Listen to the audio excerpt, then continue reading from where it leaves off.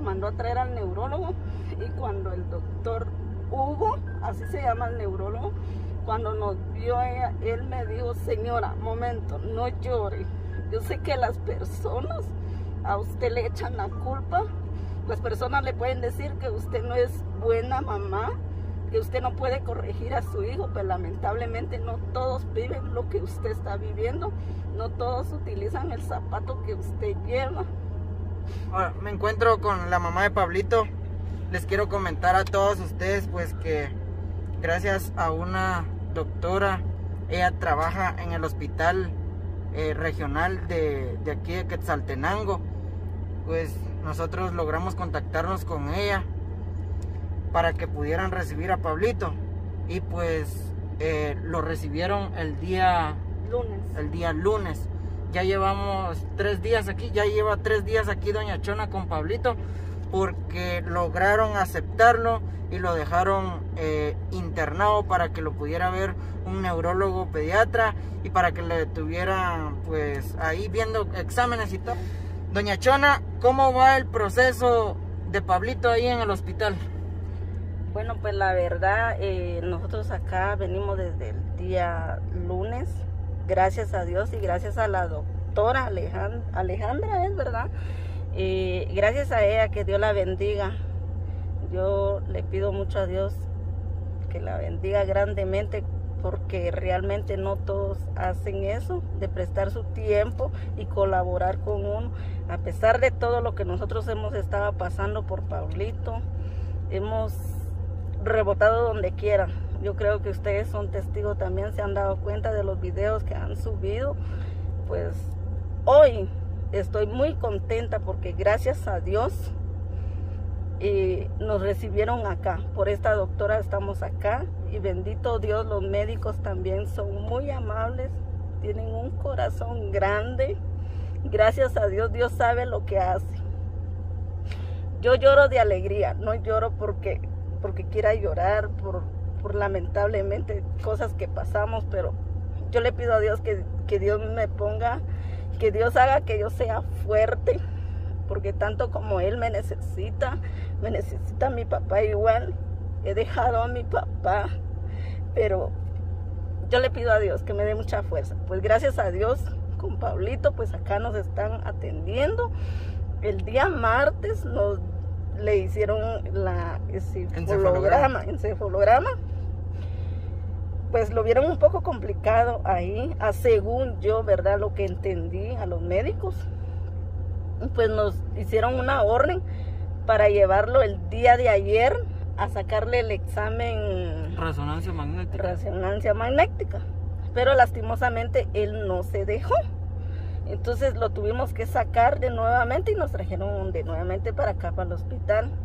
Y lo dejaron para ¿Por, hoy. ¿Por qué, no, por qué no, no se pudo? El Pablito no dejó. No, él no se dejó porque así como es él muy eléctrico, Ujú. eh, él es imperactivo y todo eso, entonces él no, no, no, no se dejó. A la hora que se, se acostó, él se pudo hacer agresivo, entonces no se pudo hacer nada. Comenzó. Y comenzó él así, incluso hasta aquí en el hospital, a mí me vino a pegar, e incluso le pegó también a una doctora, pero gracias a Dios esa doctora eh, tiene un corazón noble, porque no todos los doctores son así, gracias a Dios. Eh, yo sí tenía miedo, tenía miedo a volver a rebotarle nuevamente porque de lo que nos ha pasado. Usted me comentaba que usted hasta se puso a llorar cuando el Pablito Yo me le pegó. puse a llorar porque yo decía, Dios mío, no es posible que me vuelva a pasar lo que nos acababa de pasar allá con el doctor que fuimos en privado. Pero bendito Dios, eh, a tiempo la doctora que nos atendió, ella dijo, no, vayan a traerme, allá anda el neurólogo y tráiganselo, por favor. Y gracias a Dios, gracias a esa doctora que también ella colaboró porque mandó a traer al neurólogo y cuando el doctor Hugo, así se llama el neurólogo, cuando nos vio ella, él me dijo, señora, momento, no llore. Yo sé que las personas a usted le echan la culpa, las personas le pueden decir que usted no es buena mamá, que usted no puede corregir a su hijo, pero lamentablemente no todos viven lo que usted está viviendo, no todos utilizan el zapato que usted lleva. Yo le agradezco a este doctor que es un amor de Dios.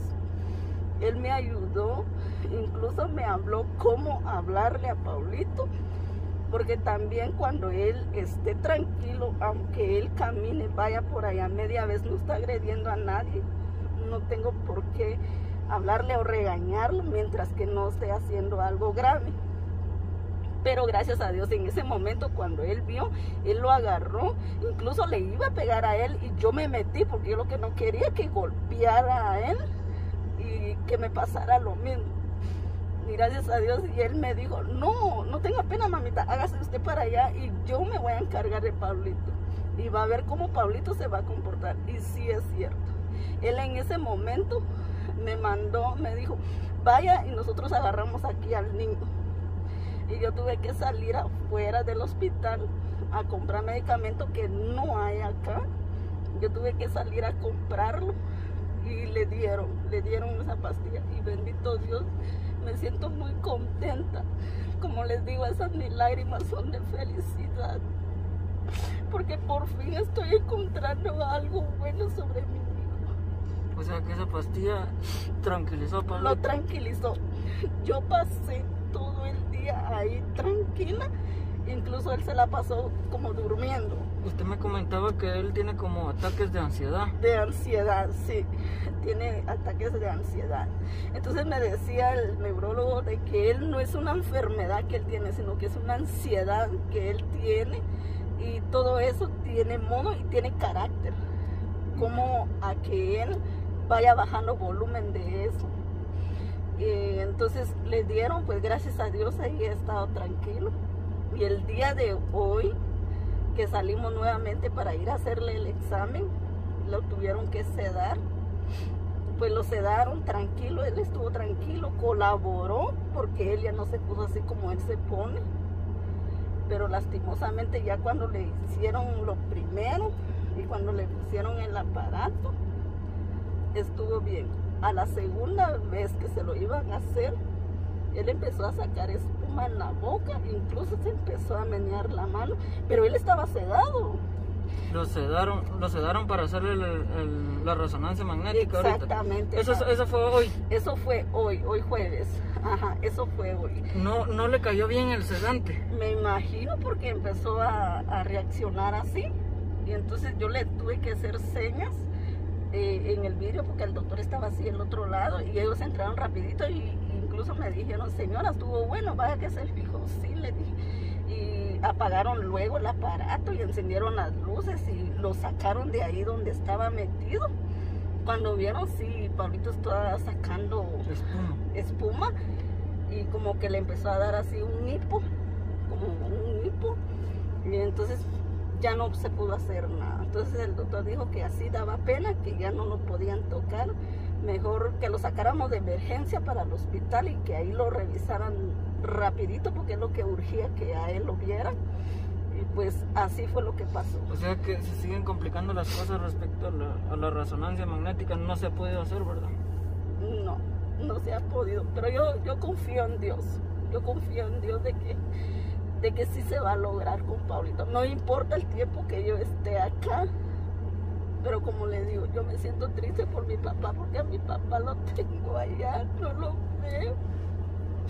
Incluso él me dice si estoy comiendo, pero es mentira porque mi nena me dice no quiere comer, dice que hasta que usted venga.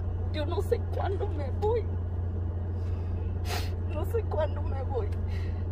Pero yo sé que primero Dios con Pablito voy a recibir buenas noticias. Solo entramos y le pusieron oxígeno para que él reaccionara del sedante. Y gracias a Dios fue reaccionando lentamente. Y ahorita él se quedó bien dormidito. Está bien dormido y después dijeron de que le van a hacer para ver si no, para sacarle una flema que él tiene en el pecho. Entonces, lo van a... Pero eso va a ser ahorita por la tarde. Entonces vamos a... Le van a sacar la flema porque puede ser por flema. Puede ser por flema, ajá. Por puede flema ser que él por tiene. flema que él tiene, ajá. Ya. Porque por el sedante dice que no, nada que ver. Doña Chona, ¿Cómo se está comportando ese hospital? ¿Cómo lo ve usted? A diferencia de otros lados donde hemos ido. Mire, gracias a Dios, yo como lo digo, tanto como los médicos y el hospital, para mí tienen buena referencia, porque acá atienden bien. Son bien gracias a Dios ¿verdad? son bien atentos y ahí están a cada ratito las enfermeras, cómo están, si están durmiendo, si no tienen ninguna complicación, bendito Dios, está la mejor atención acá en este hospital de Quetzaltenango. No, la verdad es que sí, mucha. eh, se puede decir así que de los hospitales que mejor son de aquí de Guatemala, el de Quetzaltenango es el mejor. Aquí es que nosotros tenemos referencia de que sí son atentos para atender y, y los regañan si no, si no se ponen Exactamente. pilas, ¿verdad? sí.